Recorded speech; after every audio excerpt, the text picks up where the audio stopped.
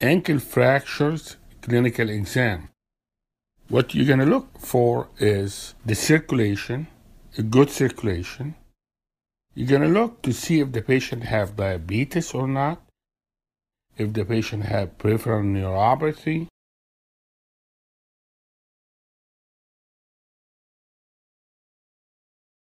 You want to make sure that the patient doesn't have Charcot fracture or Charcot joint. This is very important.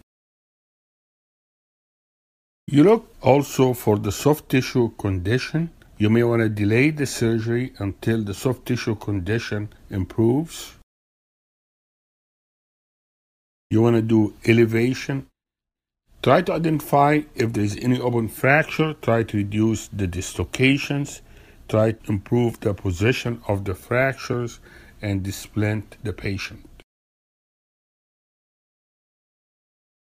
There are two points related to clinical exam that worth mentioning.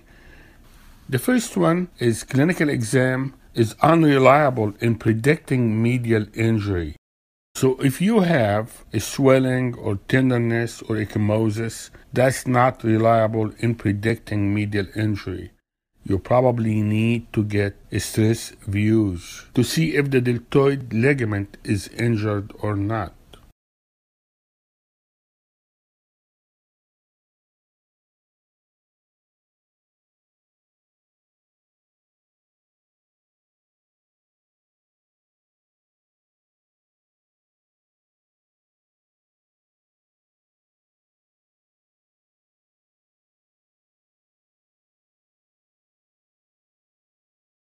The other point is if the patient have tenderness over the malleoli and unable to bear weight and the patient is older, get an x-ray.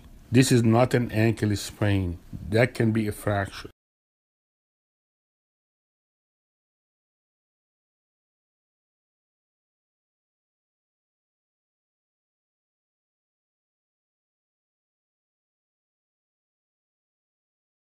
This video is for educational purposes only.